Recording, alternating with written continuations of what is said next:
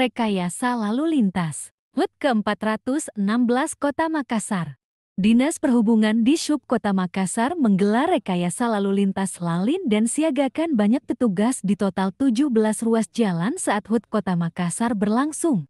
Kadishub Makassar Olia Arsyad mengatakan pihaknya sudah mempersiapkan personal untuk menjaga ketertiban dan rekayasa lalin di banyak ruas jalan di sekitar acara.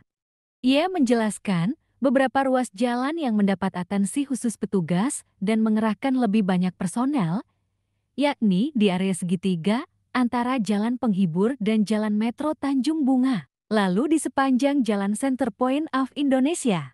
Jalan Haji Bau dibuat satu arah ke barat menuju Jalan Metro Tanjung Bunga. Begitupun dengan Jalan Saleh de Getompo serta Jalan Durian. Lalu di Jalan Lamadu Kelang dibuat searah ke arah utara. Di ujung Jalan Yosep Latumahina, pengguna jalan harus berbelok kanan ke arah timur yang akan tembus ke Jalan Arif Raid, dan jika ke kanan dan ke utara maka tembus di Jalan Hasanuddin. Olia berharap dengan adanya rekayasa lalin ini membuat lalu lintas menjadi longgar dan dapat mengurai kepadatan. Selengkapnya, pengguna jalan dapat melihat desain dan grafis rekayasa lalin berikut.